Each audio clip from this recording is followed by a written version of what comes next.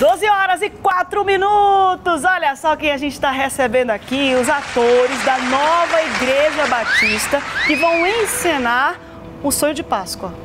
É, na verdade é o nosso grande Viva Páscoa, que é um espetáculo. Eu digo o sonho de Páscoa porque todo mundo conhece o sonho de Natal Exatamente. da nova Igreja Batista lá da Torquato Tapajós, mas são duas igrejas separadas, né? E sempre aqui a da Grande Circular é que encena a Páscoa. Exatamente. E o é espetáculo importante é isso, é importante. Né? O espetáculo é um grande sonho mesmo, porque o Viva Páscoa é um espetáculo maravilhoso que envolve dramatização, pantomima, show em luz negra, efeitos especiais, dança, percussão, tudo isso envolvido no único espetáculo para mostrar essa história maravilhosa da Páscoa que mexe com a vida das pessoas, né? Mexe para o Brasil inteiro, para todo mundo. A gente se envolve nesse momento. Todo mundo já está vivendo por causa da quaresma, né? Já está lá nas suas, nos seus, nas suas abdicações, né? Eu gosto mais das abdicações de comportamento, aquele comportamento que você tem aquele hábito de fazer. Esse é o momento que você pode se, se motivar, corrigir. E esse é o momento que todo mundo pensa, todo mundo fica solidário. Não é só no Natal que todo mundo fica apaixonado, né? Na Exatamente. Páscoa todo mundo fica apaixonado também, né, pastor? É verdade. E fechar essa quaresma com a verdadeira história da Páscoa, o seu significado, do renascimento, da transformação, da uma passagem. Páscoa simboliza a passagem uhum. de um momento para um novo momento. Isso é, é, grandioso e a história que a Bíblia transmite, ela é muito positiva e vale a pena as pessoas conhecerem. E o nosso espetáculo vai exatamente trazer essa história de uma forma atual. Como uma forma atual? Porque a Bíblia transcende aquilo que aconteceu Sim. há dois mil anos atrás tem aplicabilidade hoje. Então é ela não foi revogada é, não, não ela foi tá revogada. Ela está vigente, muito atual, porque o Cristo era uma mentalidade fora do comum. Verdade. Então ele transcendeu realmente a época dele, deixou escrito lá fundamentos, ensinamentos que vão valer ainda por mais milênios, eu tenho certeza disso. E é interessante porque eu li a historinha, muito legal, porque eles, eles trazem a história do Cristo que aconteceu há dois mil anos com uma situação da atualidade. É um casal que está brigando, que está passando Exatamente. por problemas financeiros e o filho é que traz a boa notícia da escola, não é isso, isso que aí. acontece? Que show! Eu achei muito legal isso, muito legal. E acaba levando a família toda para viver esse momento. Exatamente. E, e essa, essa, esse que é o ponto interessante. A, a Páscoa transformar a vida de uma família que estava uhum. prestes ao divórcio e há uma restauração, uma completa transformação. Isso que é o novo nascimento, a, passagem que a Páscoa simboliza. Estou conversando com o pastor Anderson Libório. Deixa eu conversar aqui rapidinho. Vou manter a ordem aqui para eu não me confundir. Esse aqui é o Rafael da Silva Marques, que é o fariseu. Como é que é participar? O que, que você faz? Qual é a tua profissão, Rafael? Eu sou design gráfico, mas na peça eu faço fariseu. Uhum. E tá sendo, tá sendo bem gratificante, assim, é, na, na peça, encenar. Porque os fariseus, eles eram os mestres da lei da época, entendeu? Então eles viam Jesus Cristo como uma ameaça, uma ameaça para eles. Então eles que, vamos dizer assim, que fizeram tudo. Ainda mais depois das notícias que ele estava enrolando até doutor com 12 anos, né? Aí que o fariseu ficou com medo mesmo. Esse aqui é o Luciano Rocha Lira, que faz Jesus. Qual é a tua profissão, Luciano? Bom, é, a gente... Você trabalha com o que fora da peça? Sim, é, eu sou motorista, é, trabalho transportando combustível. Eu estou perguntando isso porque vocês precisam conciliar sim, a vida pessoal sim. de vocês, uhum. né, com tudo isso, porque são ensaios e tudo, né? Certo. E aí eu trabalho transportando combustível para o aeroporto. Que legal, que show. Meu marido trabalha lá no aeroporto também. Como é que é conciliar tudo isso? Bom, eu sempre peço férias né, nesse período para mim poder é, ensaiar, atuar, né? E, e sem atrapalhar lá sem atrapalhar o meu trabalho, né? E isso precisa de tempo. Precisa de dedicação também, Dedicação né? também. Eu vou conversar agora com a Caroline Ramos, que é a mulher samaritana. Caroline, o que, que você faz? Eu sou fisioterapeuta. Fisioterapeuta. Isso. E como é que é se dedicar para essa peça aí nesse período do ah, ano? É maravilhoso.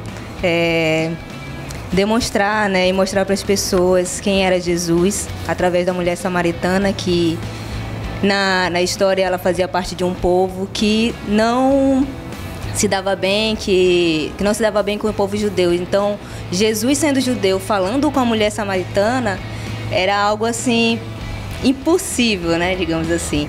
E essa história. Não para Jesus. É, não para Jesus, porque para Deus tudo é, impu... é nada é impossível.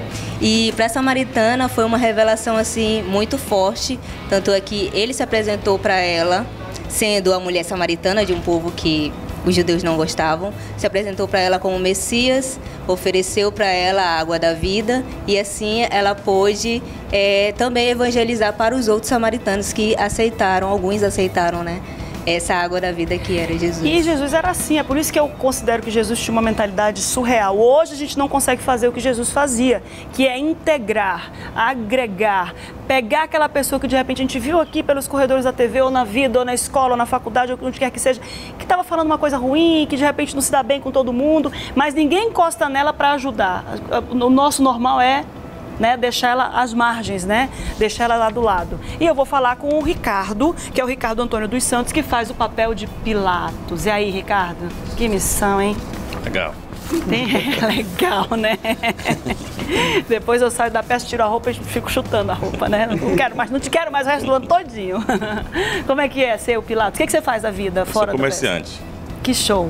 E como é que é participar dessa peça e fazendo um, um, papel tão importante, uma pessoa que podia ter tirado o Cristo lá da situação, mas resolveu lavar as mãos? É ótimo, é o segundo ano que eu participo, né?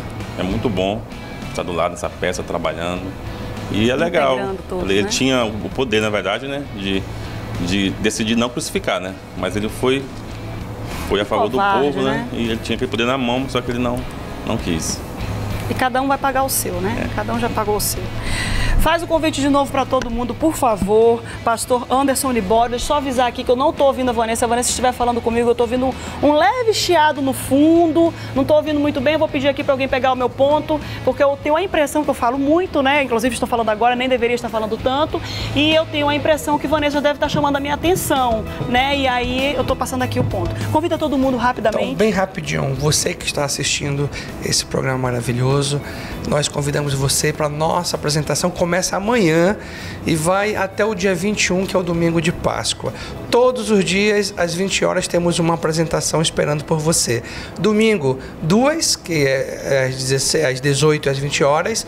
E na sexta-feira santa, três, 14, é, às 16, às 18 e às 20 horas. Você é o nosso convidado na Grande Circular, Avenida Tasmirim, Nova Igreja Batista Grande Circular. E deixa na agenda já da Nova Igreja Batista lá em dezembro com o sonho de Natal. Eu vou aproveitar para chamar aqui, aproveitar que a tela está cheia, mas vou convidar todos para assistirem junto comigo aqui que o Vitor Gouveia esteve lá na Manaus Moderna para ver como é que está a venda de peixe, porque uma, um dos comportamentos dos cristãos é não comer carne na Semana Santa. E a gente vai ouvir agora o Vitor Gouveia, que foi lá na Manaus Moderna. Muito obrigada a todos vocês que dispuseram mais uma vez do tempo de vocês para virem aqui, viu? Muito obrigada. Vitor Gouveia foi lá e a gente vai trazer agora. Não, não, não, ainda não tô ouvindo o ponto. Entregaram o ponto do mesmo jeito para mim. Não sei o que que é, viu, gente? Pelo Fala aí para mim alguém. Emerson no Minuto Oferta, vai lá, Emerson.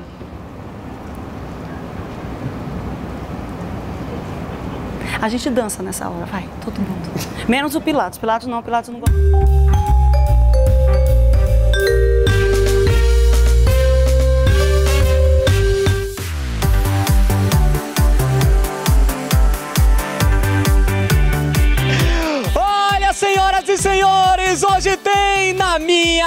Minha desse povo? Pessoal, todo mundo assistindo. Tem um pessoal ali, ó, também assistindo o programa da comunidade ali. Quando eu cheguei, ó, cara dando tchauzinho, coração. Tá ali o povo ali, ó. Hoje tem um na minha casa agora no oferecimento de Tupi Supermercado. É isso mesmo, supermercado Tupi, o mais barato da cidade. E é claro, muitos prêmios. E é claro, a tua participação. Eu estou aqui no Coroado 1, na rua Antiga Rua São Francisco que hoje a rua, vem cá mulher, vem cá, chega perto, que hoje a rua, qual é o nome da rua? A rua São Francisco. É, hoje, é, hoje é o quê?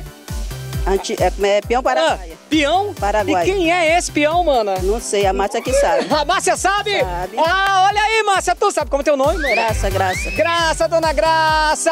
É o seguinte, Márcia, a dona Graça disse que tu sabe o nome da rua daqui, não é isso? porque ela é muito sabida. É, né? É. É verdade mesmo, Márcia? É verdade o nome dessa rua aqui tu conhece, é? É contigo, Márcia. Que rua é essa, né? Daqui a pouco a gente volta no programa da comunidade. Fique aí.